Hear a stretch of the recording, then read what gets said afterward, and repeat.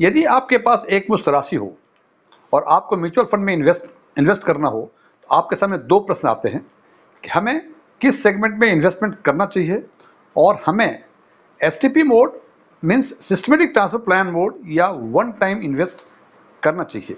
STP mode के बारे में यदि आपको जानकारी है तो अच्छी बात है। यदि इसके बारे में और जानकारी चाहिए तो ऊपर दिए गए आई लिंक पर क्लिक करके इसके बारे में विशेष जानकारी ले सकते हैं। यहाँ इस इस वीडियो के पर्पस हेतु मैं बता दूँ कि एसटीपी प्लान में एक सोर्स फंड होता है, एक टारगेट फंड होता है। टारगेट फंड वो फंड होता है जहाँ हमें इन्वेस्ट करना होता है और सोर्स फंड वहाँ होता है जहाँ अमाउंट को हम पार करते हैं, वो नॉर्मल लिक्विड फंड होता है। और इस स्टडी में, इस एनालिसिस में हमने सोर्स फंड के कैपिटल अप्रिसिएशन और उसके कैपिटल गेन टैक्स को इग्नोर किया हुआ है। इसीलिए हमें लिखा है एसआईपी या एसटीपी मोड अदरवाइज़ ये एक ही तरह के ट्रीटमेंट दोनों होते हैं और दोनों ही एसटीपी या SIP X I R R से ही एसेस किए जाते हैं। आज हम चर्चा करेंगे स्मॉल कैप सेगमेंट की और चर्चा करेंगे कि यदि हमें एसआईपी या STP mode of investment opt करना हो तो हमें कौन से फंड को शॉर्टलिस्ट करना चाहिए जो कि बेहतर रिटर्न दे सके? इसके लिए हमने small cap segment for SIP और एस पर्पस ऑफ़ इन्वेस्टमेंट के लिए हमने एनालिसिस की हुई है और हमने पाँच फंड को इसमें शॉर्टलिस्ट किया हुआ है।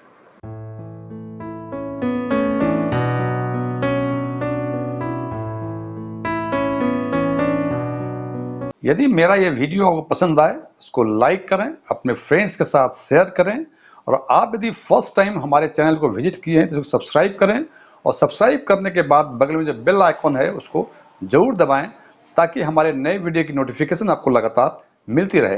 एस्ट्रॉन टैक्सपिन में आपका एक बार फिर से स्वागत है। मेरा नाम डीएम झा है। एस या S mode of investment purpose हेतु हमने स्मॉल कैप सेगमेंट का एनालिसिस तीन क्राइटेरिया पर किया है। इसमें से पहला दो क्राइटेरिया है रिटर्न एनालिसिस और दूसरा है रिस्क एनालिसिस रिटर्न एनालिसिस में हमने पाँच पैरामीटर्स लिए हैं। हमने वो सारे फंड जो 10 10 साल या उससे अधिक पुराने उसको इंक्लूड किया है। हमने वो फंड इस इंक्लूड किए हैं जिनका एट ईयर्स का सी एज आर उन्नीस परसेंट से अधिक है। हमने वो फंड इंक्लूड किया है जिसमें five years X I R R 25 percent से अधिक है। हमने वो फंड इंक्लूड किए हैं कि जिनका थ्री ईयर्स का एक्स मोर देन 25 परसेंट है और वन ईयर का trailing return more than 15 percent जितने भी फंड के हैं X I R T R trailing return उसको हमने इस, उसमें शामिल, इस एनालिसिस में हमने शॉर्ट लिस्ट करने हेतु शामिल किया है। और इसके लिए ये जो हमने 19 परसेंट, पच्चीस परसेंट, पंद्रह परसेंट लिया है, ये कोई जादू नहीं, इसकी एक बेसिस है। वो बेसिस है कि रेस्पेक्टिव ईयर में उस कैटेगरी का जो भी एक्स आईआरआर था, उसको हमने बेंच मार्क मारा है। जब उसको हम देखते हैं तो हम देखते हैं कि एट ईयर्स में 18.99 था, इसलिए हमें नाइन परसेंट नाइनटीन परसेंट लिया हमने बेंच मार्क यहाँ ट्वेंटी परसेंट था तो यहाँ 25 परसेंट लिया, यहाँ 24.17 था तो यहाँ 25 परसेंट लिया, और one year return was 4.4 percent for for category small cap category और इसीलिए हमने इसको मोर देन 15 परसेंट लिया। फिर दूसरा क्राइटेरिया है रिस्क एनालिसिस रिस्क एनालिसिस के लिए हमने पाँच पैरामीटर्स लिए हैं standard deviation Sharpe ratio Sortino ratio beta और अल्फ़ा ये स्टैंडर्ड डेविएशन इन चारों पैरामीटर्स के बारे में यदि आपको जानकारी है तो अच्छी बात है। यदि इसके बारे में कुछ और जानकारी चाहते हैं तो ऊपर दिए गए आई बटन पर क्लिक करें और इसके बारे में जानकारी ले सकते हैं। और तीसरा क्राइटेरिया जो है, वो है एसेट अंडर मैनेजमेंट इन सारे फंड सारे शॉर्टलिस्ट करने के बाद फिर डिसाइड देखते हैं कि उसका एसेट अंडर मैनेजमेंट क्या है। सो हमने एक एक पैरामीटर में फाइव सब पैरामीटर्स दूसरे पैरामीटर में भी फाइव सब पैरामीटर्स और एक पैरामीटर और इन तीनों को मिला के फंड को शॉर्टलिस्ट किया है। और जब हम शॉर्टलिस्ट करते हैं तो उसके पहले एक चीज़ बता दूँ कि ये जो हमने फंड लिए हैं टेन ईयर्स से पुराने फंड थे, वो टोटल टेन थे। एट ईयर्स के एक्स जिसका उन्नीस परसेंट से अधिक था, वो सेवन फंड थे।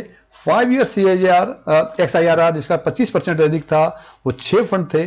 Three years X I R R जिनका 25 परसेंट अधिक था, वो नौ फंड थे और वन ईयर ट्रेलिंग रिटर्न जिनका ट्रेलिंग रिटर्न 15 परसेंट से अधिक था, वो टोटल 10 फंड थे। और इन पाँचों पैरामीटर्स के और इस शॉर्ट लिस्ट के बेसिस पे जो हमने पाँच फंड सेलेक्ट किए, वो हैं H D F C Quant Nippon ICIC और कोटक इमर्जिंग इक्विटी ये फंड जो हैं, जिस सेटम में लिखे हुए हैं, इसका रैंकिंग से कोई संबंध नहीं है। हमने इन क्राइटेरिया पे, जो एक्स आई आर का क्राइटेरिया था, इस क्राइटेरिया के बेसिस पे हमने ये पाँच फंड शॉर्टलिस्ट किए और ये शॉर्टलिस्ट करने का तरीका ये अपनाया है हमने कि जो जो फंड इन पाँचों पैरामीटर्स में कॉमन थे, वो और सेकेंड स्टेज में वो सारे फंड्स जो इन पाँच में से चार पैरामीटर में कॉमन थे, वो फंड उसके हिसाब से पाँच फंड शॉर्टलिस्ट हुए। जब इसका रेस्पेक्टिव ईयर का एक्स आईआरआर देखते हैं तो हम देखते हैं कि वन ईयर में सबसे अधिक 27.7 परसेंट एच का था। थ्री इयर्स में सबसे अधिक 34.88 क्वांट का था। थ्री ईयर में भी सॉरी फाइव इयर्स में सबसे अधिक 36.7 ये भी क्वांट का था।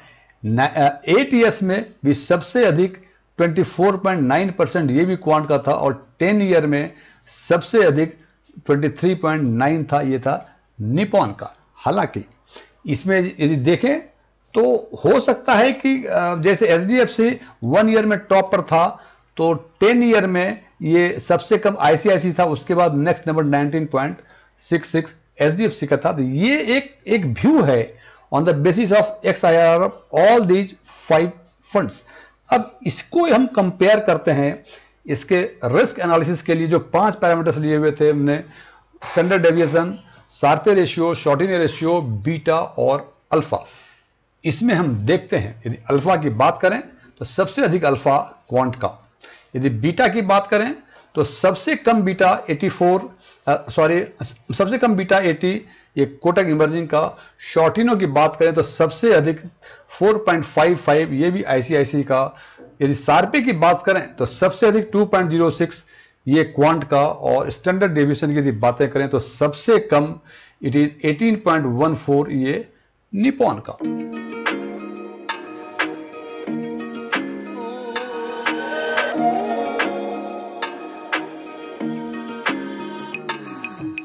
अब बारी एनालिसिस करने की और कंक्लूड करने की और आपके निर्णय लेने की बारी। अब देखें, यदि रिटर्न एनालिसिस के फ्रंट पे देखें तो टेन ईयर में सबसे अधिक निपॉन का, जो सबसे बड़ा बेंचमार्क है एट ईयर्स में सबसे अधिक 24.9 ये क्वांट का फाइव ईयर्स में सबसे अधिक ये क्वांट का थ्री ईयर्स में सबसे अधिक क्वांट का और वन ईयर में सबसे अधिक 27.7 एच डी एफ़ सी का। यदि हम क्या रिटर्न के बेसिस देखें तो हमें लगता है कि out of five parameters three parameters में कौन लीड कर रहा है? So it must be kept at number one लेकिन इसके साथ साथ में यह भी देखना है स्टैंडर्ड डेविएशन स्टैंडर्ड डेविएशन इनका सबसे अधिक स्टैंडर्ड डेविएशन सबसे अधिक शॉर्टिनो ठीक है बीटा बीटा भी सबसे अधिक। तो ये दोनों मिला के in all the five funds हमने फिफ्थ नंबर पे रखा है। आईसीआईसीआई को अब बात यह है कि आईसीआईसीआई को फिफ्थ नंबर पर क्यों रखा हमने? सबसे पहला कारण आईसीआईसी का टेन ईयर का C H R it is seventeen point percent ये सबसे कम in among all this five funds और टेन ईयर्स का का X I R R it it tell something it sound something जैसे 23.99 परसेंट टेन ईयर्स का का X I R R है it it says something ये कुछ बोलता है कि भाई, ये क्या क्या है? और सब वन ईयर में जो करंटली चल रहा है, ये सबसे कम 12.84 परसेंट वन ईयर के टीआर के बेसिस पे। इसके बाद स्टैंडर्ड डेविएशन 18.26 ये सबसे अधिक तो नहीं है, लेकिन फिर भी कईयों से अधिक है।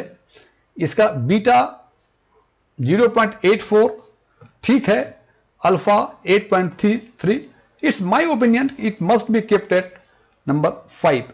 चौथे नंबर पे रखा है हमने क्वांट को जिसको कि आजकल this the blue blue eyed mutual fund for the investor सारे इन्वेस्टर्स क्वांट की बातें करते हैं। मैं इसके बारे में चर्चा नहीं करूँगा, क्या अच्छा है, क्या बुरा है but I kept it at number four इसका एक कारण ये भी है कि इसका एसेट अंडर मैनेजमेंट क्वांट का और आईसीआईसी का काफ़ी कम है, जिसकी चर्चा हम आगे करेंगे। तीसरे नंबर पर रखा है हमने एचडीएफसी को। एच को तीसरे नंबर पर रखने का कारण जो करंटली चल रहा है twenty seven point seven one year का टी आर ये among all the five fund it is the highest और यदि बात करें हम अल्फ़ा की, ये भी ठीक है।